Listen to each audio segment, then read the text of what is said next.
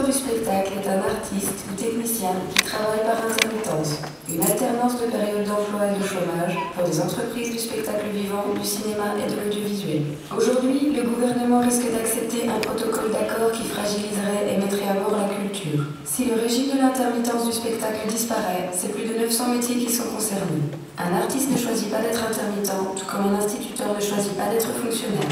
Il s'agit aujourd'hui de se battre et de défendre ces métiers pour vous permettre continuer à aller au cinéma, regarder la télévision, aller voir des spectacles, des concerts et vous rendre à des festivals. Sachez que le spectacle auquel vous allez assister n'aurait pas lieu sans les intermittents. Alors gardez les yeux ouverts sur ce qu'il se passe actuellement et parlez-en autour de vous. Soutenez-nous, soutenez la culture.